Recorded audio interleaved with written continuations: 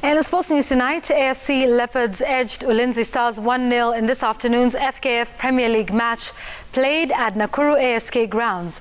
Caleb Olilo scored the lone goal of the match in the 70th minute. A well-struck shot that left Ulinzi shot stopper James Saruni rooted on the spot. The result sees Ingwe jump from fifth position to third.